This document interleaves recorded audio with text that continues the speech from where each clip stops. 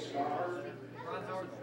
Mostly bunched up behind him, setting the uh, into turn number four. The riders get set for the green flag that will suck them on their way for 400 miles of competition.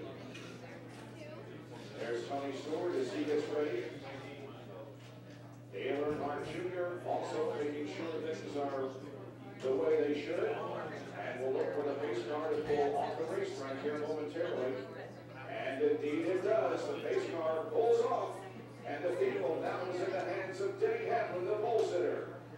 front stretch they come. We're watching the green flag to see if it waves.